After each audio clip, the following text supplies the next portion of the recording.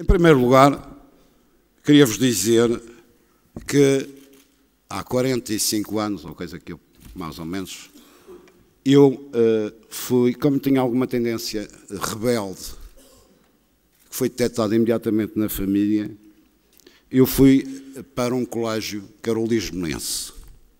E o meu irmão, que também tinha a mesma tendência, foi para um colégio chamado o Caroço. A maioria de vós talvez não se lembrem quais eram as características desses colégios. Era um colégio que hoje seria, ou os colégios seriam banidos do planeta, uma vez que praticavam uh, os castigos corporais, como se chamava na altura. Obviamente, eu não fiquei nada traumatizado, nem o meu irmão, relativamente às sevícias que foram infligidas, mas aprendi uma coisa que foi o exercício da memória. E o exercício da memória é importante porquê? Porque permite, por vezes, lembrar alguns números, e eu não sendo economista, e tendo grande consideração pelos economistas, que muitas vezes têm tanta influência sobre a economia como os meteorologistas sobre o tempo, gostaria de lembrar que penso que este é um mérito de todos nós, este não é um mérito do governo, mas eh, de facto o turismo tem números muito significativos no pretérito ano. E agora vou brilhar. Tivemos 6, mil, 6 milhões 630 mil dormidas, 1 milhão 211 mil turistas. Subimos o REVPAR 12% na Madeira e no Porto Santo 13%. Tivemos proveitos totais 321 milhões. E falta uma coisa. Será? E tivemos 550 mil turistas de cruzeiro. Portanto, foi o ano recorde para o turismo da Madeira. Isto o que é que significa? Significa que, independentemente da conjuntura internacional e daquilo que se está a passar na Turquia e nos países que nos faziam grande concorrência, como o Egito e alguns dos países africanos, a verdade é que estamos a trabalhar bem. E tenho que reconhecer que a estratégia que foi seguida da concentração da promoção numa única entidade e o trabalho que tem sido feito também em colaboração com todos os hoteleiros e com todos os agentes do turismo tem sido bem direcionado e tem tido resultados. Portanto, nós nunca podemos ter aquele princípio de estar sempre, ah, não sei o e tal, que é aquela história de alguns madeirenses em que se encontra um madeirense na esquina e acabou de sair o, a sorte grande, ou o totoloto, como se diz hoje, e pergunta, então, e ele, entretanto, ganha um milhão de euros. E pergunta, então, como é que está, vai a vida? Ele diz, mais ou menos. Portanto, mais ou menos não. Correu bem, ainda bem que o ano correu bem, e esperamos que o nosso percurso na área do turismo continue a correr bem. É evidente que temos que ter cautelas e temos que ter os pés assentes na terra. Não vamos começar aqui a aumentar o número de quartos de forma desmesurada, e temos que consolidar e melhorar o nosso destino. De que forma? Criando, no fundo, aquilo que todos nós, nós não precisamos descobrir a roda.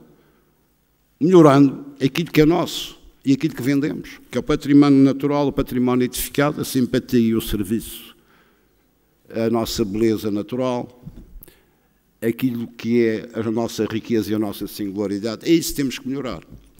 E também algo que é uma aposta nossa do governo e que foi bebido aqui nesta conferência. Nós aprendemos muita coisa nesta conferência e que é a nossa cultura.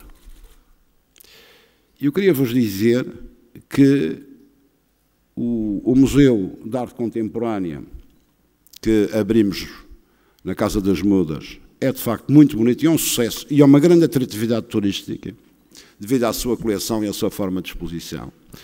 Nós vamos recuperar o Museu Vicentes, que tem um dos espolos mais importantes de fotografia da Europa.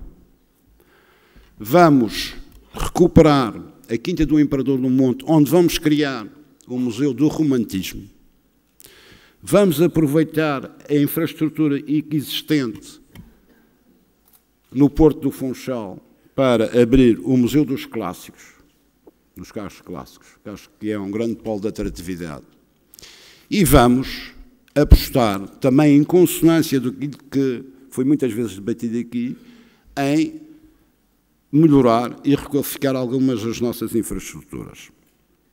Para além das levadas, para além dos jardins, e neste momento há uma riqueza que nós temos que é desconhecida de muita gente, que são os caminhos reais.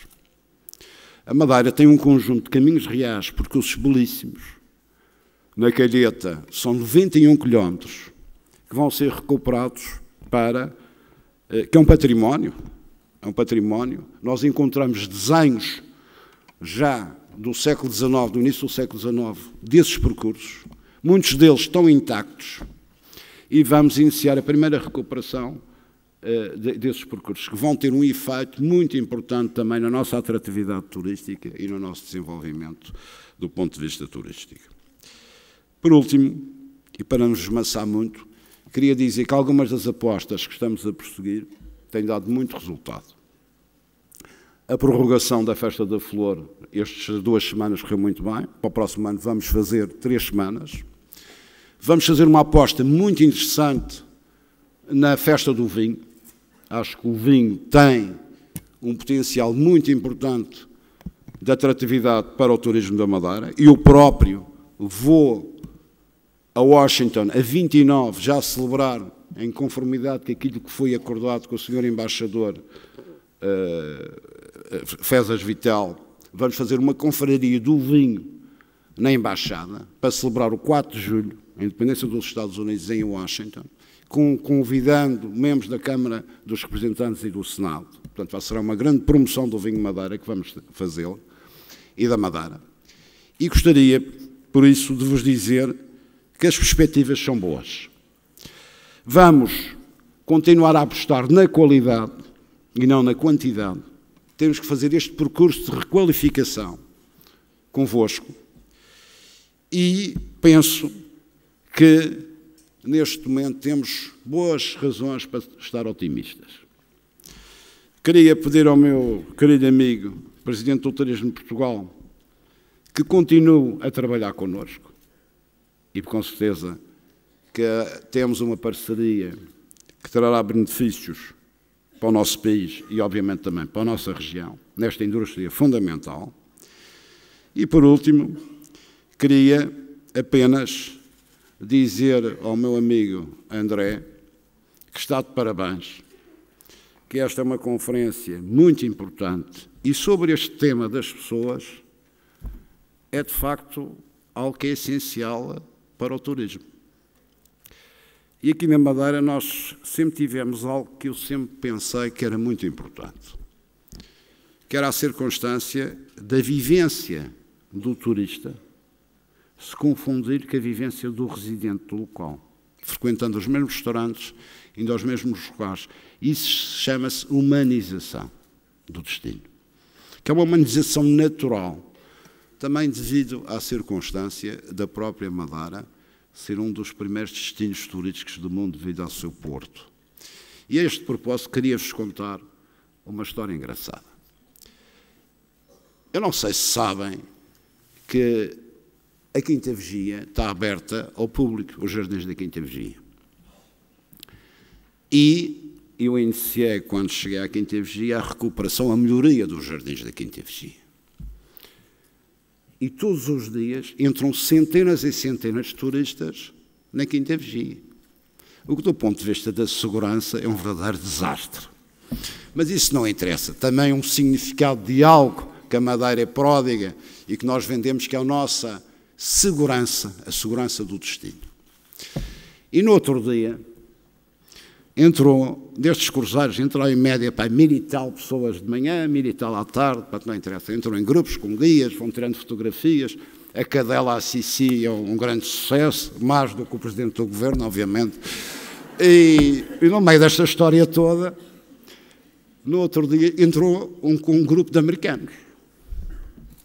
Entretanto, estou no jardim e a guia disse, olha, aquele senhor está ali, e ao presidente do governo. Eles não queriam acreditar. Como é que era possível eles entrarem na sede do governo e tirar uma fotografia com o presidente do governo? Portanto, isto tem um significado importante para a reflexão que nós vamos fazer hoje sobre a humanização do destino, as pessoas e a importância das pessoas no reforço da nossa competitividade, autenticidade e atratividade turística. Portanto, muito obrigado e parabéns por esta conferência. Muito obrigado.